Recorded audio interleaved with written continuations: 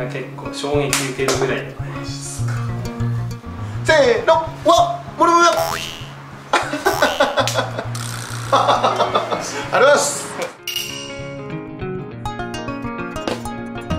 お久しぶりです、はいこんにちは。どうもどうも。森森久しぶり。よ ドラゴンさん呼んでましたけども今日はうん。田村龍さんということでよろしいですかね、ろしくお願いします。あー中入ってですねいろいろ話聞いてよろしいですか？あっすパカ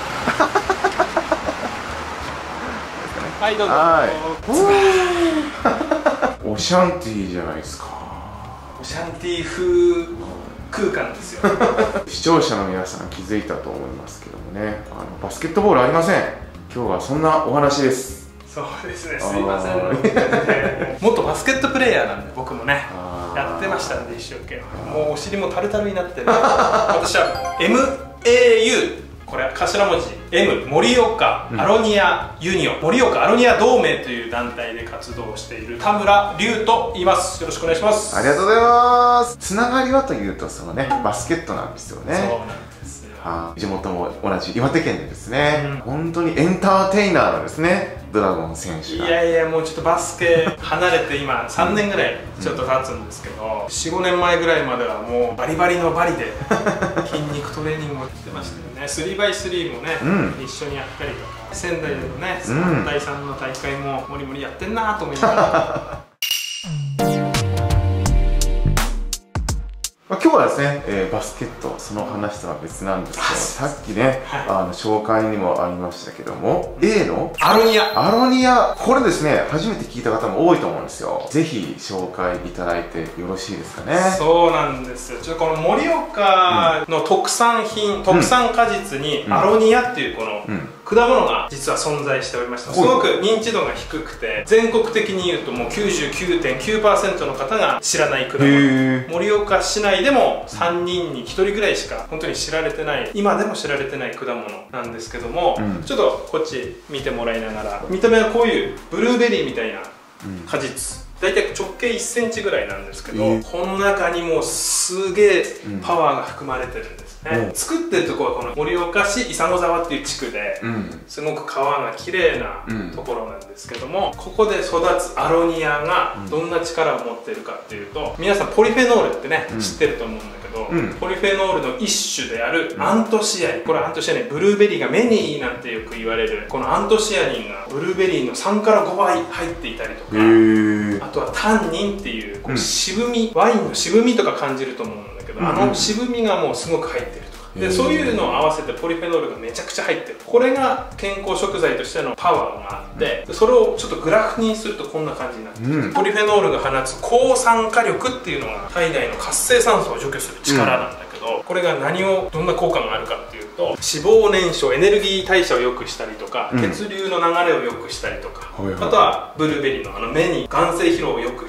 こう軽減してくれたりとかあとは免疫力をアップアンチエイジングなんてよく言われてますけど肌の老化現象、うん。たるみシワとかっていうのも軽減してくれる。この力がもう数ある果物とか食べ物の中でも抜群に高いのがこのアロニアっていう果物。でまあいいことだけじゃなくて豊富なポリフェノールっていうのが逆に力が作用してしまって食べても渋いとか、えぐみが強いとかそういうのがすごく裏面として残ってるっていう果物でもすごい個性的な果物なんだけども今昨今本当に健康志向っていう方々がすごく高まってるし、うん。食べ物をどんどん国産にしていかないと長続きしないよねこの日本はっていうところで国産で取れるいいものをどんどん残していきたいっていうのも思いの中にはあります。なるほどはい、でそんなうん。アロニアを使った今商品作りっていうのを仕事としてしてまして、まあ、どんな方に届けたいかなっていうのを、まあ、いっぱい考えてやっぱり健康志向の方に最終的には届いて、うん。長く飲んでいただく。あとアロニアっていうのは